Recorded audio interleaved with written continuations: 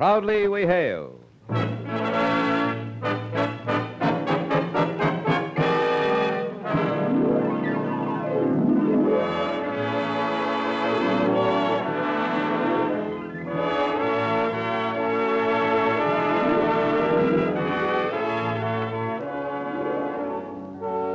From New York City, where the American stage begins, here is another program with a cast of outstanding players.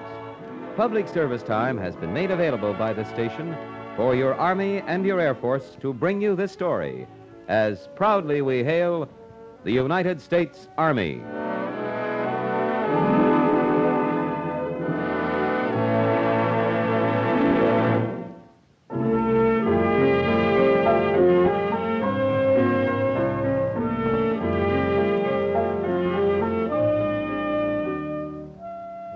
Our story is entitled The General Saves a City, a true story of the courage, compassion, and understanding of an American general.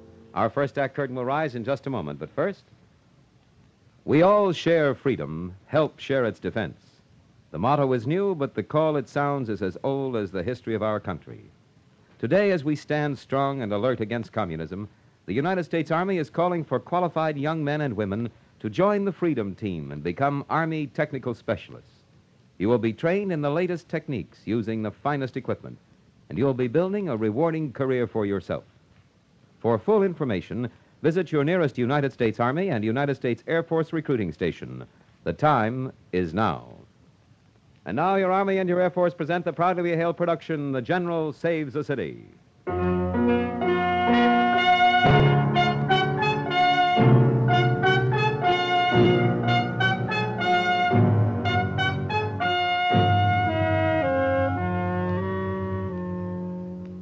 German city of Heidelberg hugs the Neckar River not far from where it meets the Rhine. In the spring of 1945, Heidelberg lay smack in the path of the Allied advance, an advance preceded by tremendous artillery barrages and round the clock aerial bombardment. Heidelberg was one of the few cities of its size in Germany to remain intact and untouched in the face of such a devastating Holocaust. That fact must be attributed to the actions of one American soldier and a few determined citizens of the doomed city. The soldier was Major General William A. Beiderlinden, who in that spring of victory was in command of the artillery brigade of the 44th Infantry Division, led by Major General William Dean. This rate, sir, Mannheim will be ours by morning. Yeah, there's little doubt of it, Colonel. And then on to Heidelberg. Have you ever been there, Colonel? No, sir. This will be my first visit. Well, it's a very old and a very beautiful city. Its university dates back to the 14th century. One of its bridges is older than that. Goethe called it the most beautiful bridge built by man. It's a city crammed full of the best of the past. Sir, we're fighting a war.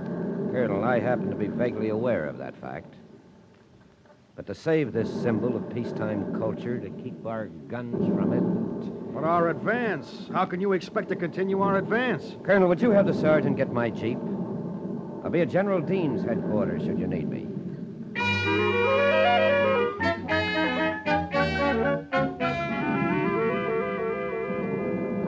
You think you can get him to surrender as an open city? Well, I don't know. But with your permission, I'd like to try. You have that, Bill. You do as you think best. Just remember, it can't in any way slow our advance. We're spearheading. We don't let up on them for a minute. When we take Mannheim, I'll try to get word through to the Heidelberg authorities. I don't think you'll have much luck, even if you do. Well, it's worth that old school try to me. I don't want to discourage you, Bill, but I think you ought to listen to something. Lieutenant, let's have that Superman in here again. Well, who have you got? Adolf Hitler? His brother, Sam. General Beiderlinden, this is SS Major Brunner von Hauptmann. Major von Hauptmann, General Beiderlinden is in charge of my division artillery. He'd like to spare Heidelberg because of its age and beauty, its past culture. How do you feel about that? We shall never surrender. Every last man, woman, and child will fight and die for the glory of the Fuhrer. If the Burgomaster of Heidelberg tries to negotiate with you, he will be shot. You think you have beaten us? You think you, because you have taken a few of our cities All right, that will do, Major. that we shall surrender? That's enough, Major. We shall make a stand and turn defeat into victory. Lieutenant, take him back to his cage. We will crush you and fling you back into the sea. Every man wounded. You see what I mean, Bill? Sure, I know, but they're not all like that. No, but those that are will see that the others do as they're told or else. I'd still like to give it a fling. All right, Bill, go ahead. But remember, you'll have to work fast.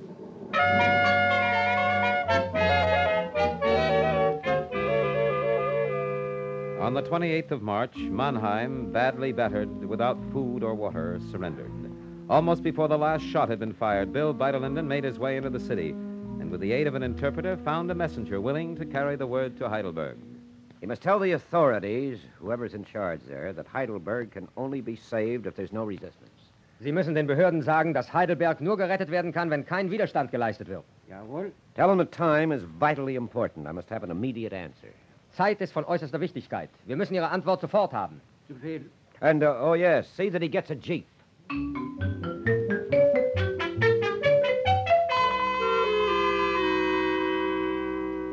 Colonel Hubert Neeson, on that fateful day, was commandant of Heidelberg's hospitals, which held more than 21,000 wounded German soldiers. Fortunately, the messenger sent by Beiderlinden got through to Heidelberg, and even more fortunately, he brought his news to Colonel Neeson. So they would spare the city. Yes, sir. The American general said there was need for haste. If we fight, we die like Mannheim, like all the rest. And for what? If I may be so bold, Herr Oberst, for nothing. Yes, I know, I know. Well, there's only one thing to do. Go see Neinhaus, the Bürgermeister.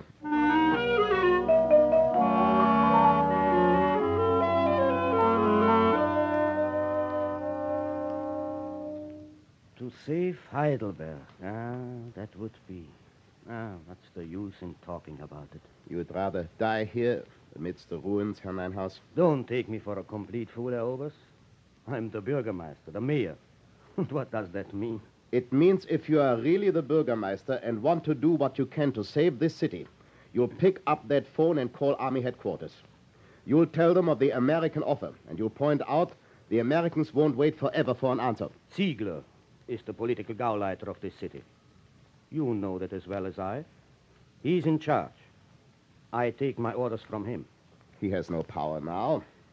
Do you think the people of Heidelberg will listen to what he has to say if you tell them what the Americans offer?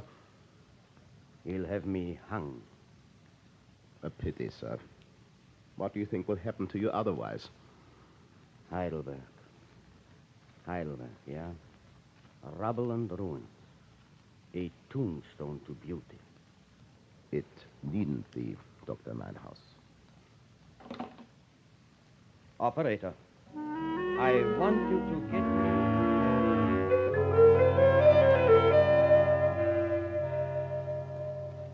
They don't know where he is. There is no one else at headquarters who has such authority.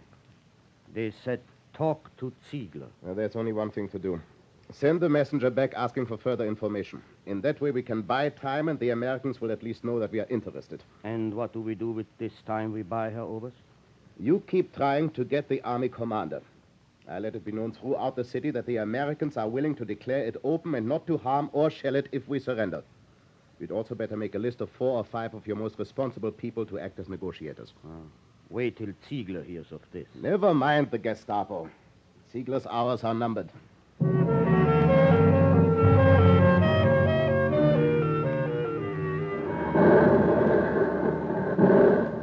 Grand night for dancing. Will you please tell me, Nick, what we're doing here watching up this road? Well, Andy, I tell you, I didn't have a chance to talk to the general about it. But maybe like the Sarge said, we just lie here and wait and see if anything comes down it. Well, that's what I mean. Ain't nothing gonna come down this road. Can I quote you?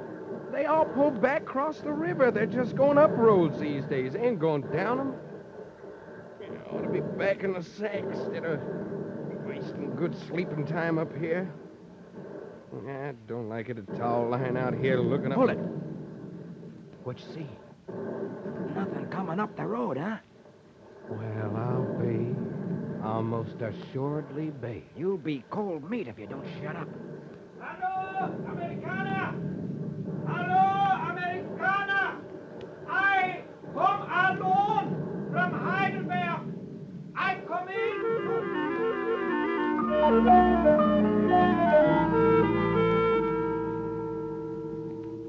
I'll only negotiate with a responsible officer. Make sure he understands that. Yes, sir. Kontakt wird nur mit verantwortlichen Offizieren gemacht.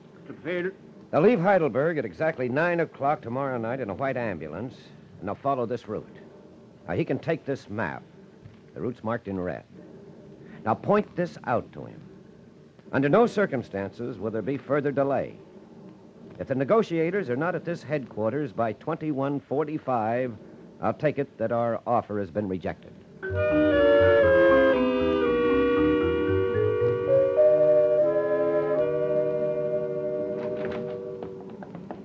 Well, what luck, Herr Bürgermeister? I reached General von Sprock. What did he say? He's willing to remove all troops and weapons from the hospital areas if it will prevent their being fired on. And uh, the rest of the city? He didn't say. I don't think he'd dare to. He wants you to call him. What about our trying to. Lighthouse! I'm going to have you hung! What is this incredible nonsense I hear about you negotiating with the Americans? It is they who have offered us the chance to negotiate. You stick to the evacuation of your wounded, Herr Oberst. General von Sprock, the new commandant, has agreed to remove all troops and weapons from the hospital areas. Oberst Nissen. General von Sprock is what? Such an agreement is out of the question. A new line of defense is to be formed along the Neckar. Heidelberg is to be defended to the last man, to the last woman. There is no new line of defense, and you know it. I'll have you shot for treason. Shut you. your face, you silly little puppet. You've had your last man shot. Try to stop us, and the people of Heidelberg will tear you to bits. You? We'll see about that. I knew it. Now what? Forget him. He's through. He's just bluffing. Who have you picked for negotiators? I thought Dr. Fritz Ernst of Heidelberg University would be good. Here is a list. Mm-hmm. All right. I'll round them up. Bring them here. Let's hope the messenger gets back soon.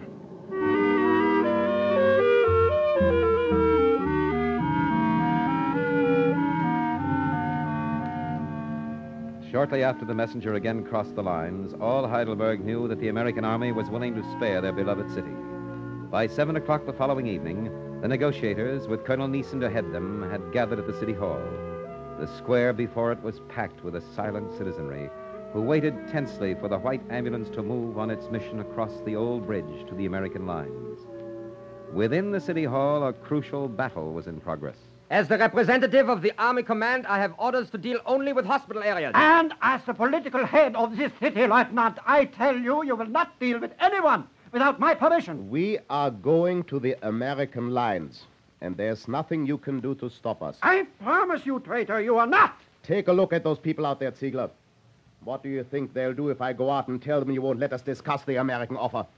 Try to do that, and I'll shoot you before you can move five paces. You will shoot, you will hang, you will kill, you filthy pig. Well, I too have a gun, see? I have never shot anyone, but I will shoot you if you do not get out of here at once. Get out! Get out! Get out! I warn you, you won't get away with this.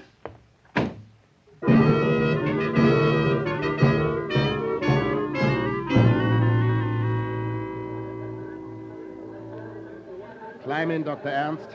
Lieutenant. I am going only to discuss the situation on hospitals. All right. But for heaven's sakes, let's go. Nearly nine. I get in, the rest of you gentlemen. Herr Oberst!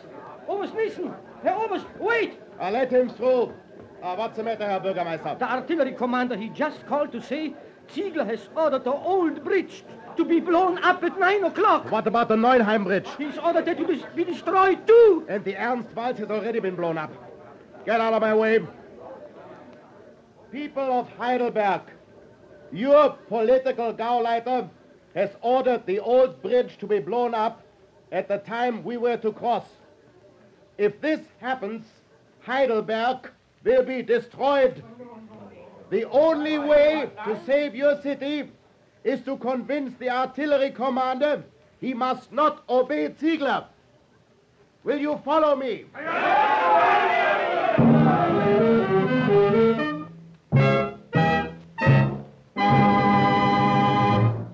You are listening to the Proudly We Hail production of The General Saves a City. We'll return to our story in just a moment. Today, you young men of America have an excellent opportunity to learn a trade that will assure your future. The many fine technical schools of the United States Army are training men in such interesting fields as radio, radar, meteorology, mechanics, electronics, and many others. You can become a qualified technician trained to do an important job and do it right. For full details about an exciting career, visit your nearest United States Army and United States Air Force recruiting station. There's no obligation, so plan ahead.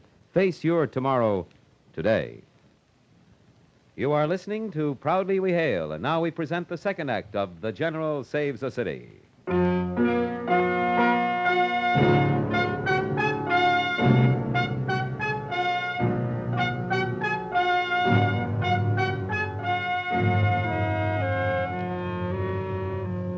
By 1900 hours, the time the Heidelberg delegation was to leave for the American lines, while Bill Dean's slugging 44th had driven forward to the outskirts of Neuenheim, just across the river from Heidelberg.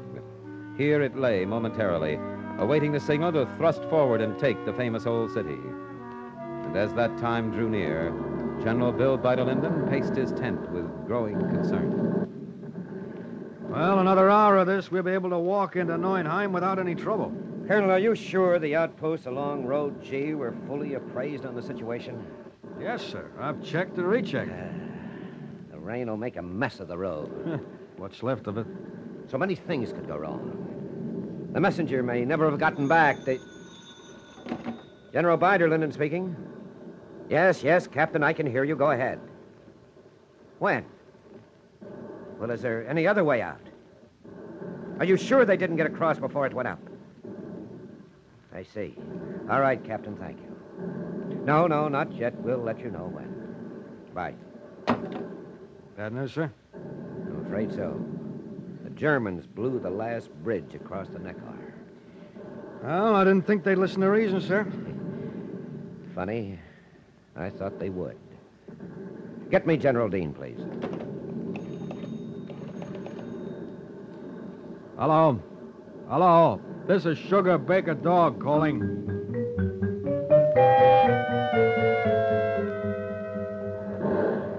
Just don't make no sense lying out here in all this mess. Rain pouring down, blackening a bear's hide in a cave. A grand night for dancing. Maybe you can tell me what we're doing out here miles ahead of everyone else. Why, boy, ain't you heard?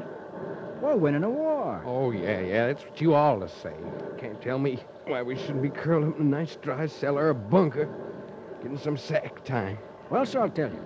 It's probably because you and me are the two most important dope feet in this entire army. Uh-huh. So General Dean, he says, I need those boys to get out there in front and make sure them Nazis don't run plumb away from us. Mm-hmm. Wish I'd gone to cook some baker school. Oh, you'd make a terrible cook, Andy.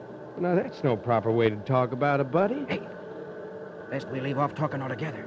Something come up the road. Nick, you got ears like a bird dog. Sounds like a truck.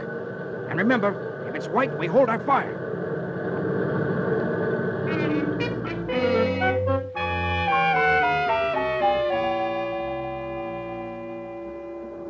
All batteries will concentrate their fire on. General Beiderlinden speaking. What? Say it again. I can't hear you. Yes, that's right. Oh, Colonel, hold those orders. Yes, yes, go ahead. All right, bring them in and on the double. Right, bye. They're coming, General. Yes, they're coming, Colonel. Outpost on Road G just picked them up. They must have crossed before the bridge was blown.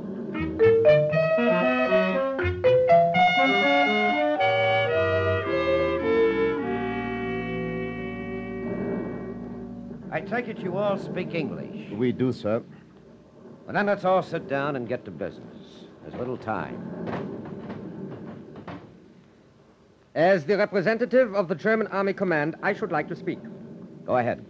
We have only come here at your request to see that the hospital areas of Heidelberg are not fired upon. Well, there must be some mistake. It's our understanding that you're here to offer the unconditional surrender of all Heidelberg, that you'll permit our entry into the city without resistance. We have no such authority. We cannot agree to your occupation of Heidelberg. All we want is a guarantee that the American Air Force will not attack our hospitals. We don't shoot at hospitals. Furthermore, we- Furthermore, nothing. It's to be regretted that the German army, which enjoys a reputation for brave fighting, cannot understand it has lost the war, and that it's useless to have more cities destroyed. we are of a different opinion. We have not lost the war, and we did not come here to discuss such matters. Look here. You're practical men. You want to save Heidelberg? Well, so do I. Now, let's try to work out an agreement that will do the business. Sir, you must forgive the lieutenant here. He does not speak for all of us. He does not speak for Heidelberg. We Colonel have... Neeson, you will. Be still. I happen to be your superior in rank, if not in designation. I was appointed head of this delegation by the Burgermeister, and as its head, I shall be entirely responsible for the negotiations that take place here. Now, sir, let us proceed.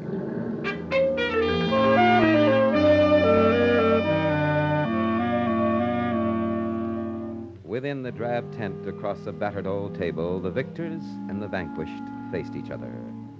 There were some on the side of the vanquished who could not understand why an American general of artillery was so anxious to save one of their cities. It was his job to destroy, not to preserve. It must be a trick. But in their hearts, they knew there was no need for a trick. They could bluster, they could shout, they could bluff. But even the arrogant young lieutenant knew they were beaten. And so, slowly, patiently, keeping a check rein on his temper, Bill Beiderlinden made them see reason. Colonel Neeson, who had long been associated with the futility of war, finally brought the negotiations to a close. May I say, sir, I thank you for being so fair. Colonel, I'm interested in saving Heidelberg, not thanks. I pledge you my word that we shall do our best to get an agreement that no military resistance will be offered, and in return, you will spare our city from gunfire. That is correct. Now, let me point out again that speed is essential. I don't know how you plan to get back across the Neckar with all the bridges out, but we'll be moving on the city within the next few hours. If we meet with resistance, we'll know that you were unsuccessful. We shall do our best. Colonel, see that they're passed through our lines as quickly as possible. Goodbye, sir. And um, I hope we may meet again in Heidelberg. The Colonel, in undamaged Heidelberg. Strange to think of tomorrow. I know. Easter Sunday.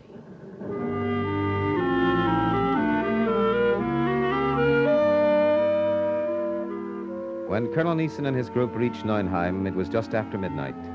Fire and smoke from the battered town cast their angry glow over the river, and silent old Heidelberg lay darkly silhouetted against the night sky, waiting the dawn. A 16 year old girl named Anne Tom had come to meet the colonel and his party, and it was she with her small boat who paddled them across the river back to the city.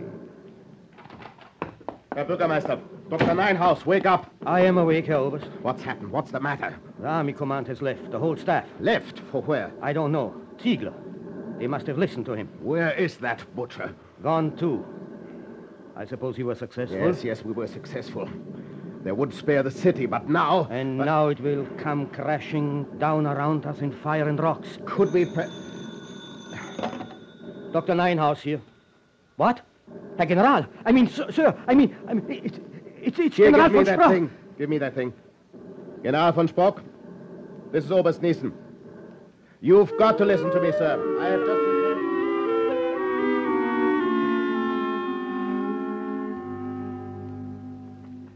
What time is it? Uh, 0730, General. Our advance column should be at Neuenheim by now.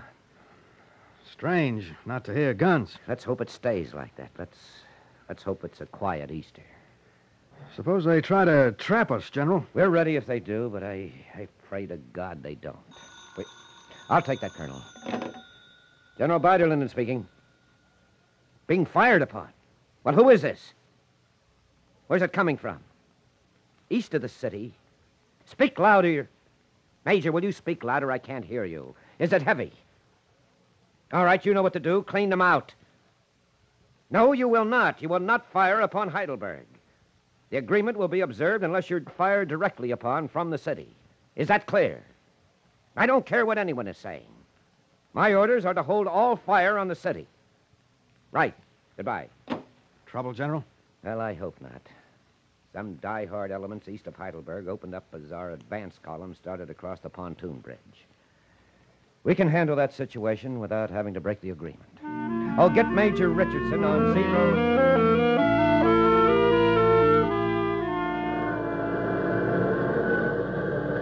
The situation was well taken care of.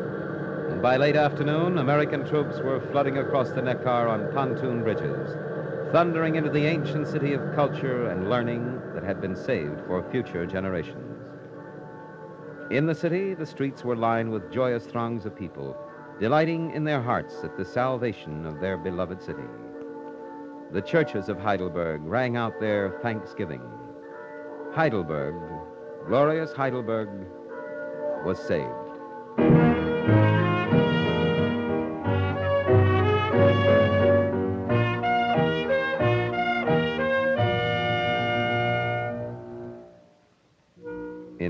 1951, Bill Beiderlinden's alma mater, Drury College, asked him back to receive the Alumni Association's Distinguished Service Award. It is the highest honor the alumni can bestow. The citation read He recognized the international significance of the accumulated learning of the ages, the culture, refinement, and ideals of the centuries stored at the University of Heidelberg, and thus became the savior of Heidelberg. And so proudly we hail General Bill Beiderlinden, who in the midst of war successfully brought about the saving of a great symbol of peace and of culture.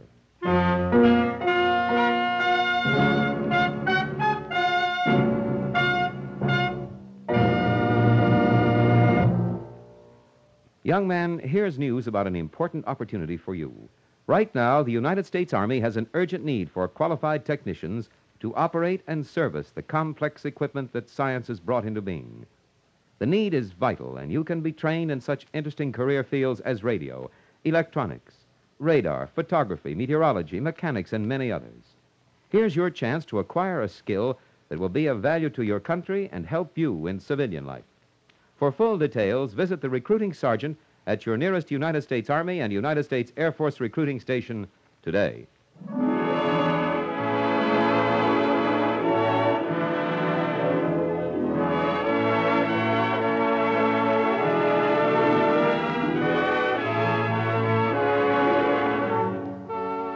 This has been another program on Proudly We Hail, presented transcribed in cooperation with this station. Proudly We Hail is produced by the Recruiting Publicity Center for the United States Army and United States Air Force Recruiting Service. This is Kenneth Banghart speaking and inviting you to tune in this same station next week for another interesting story on Proudly We Hail.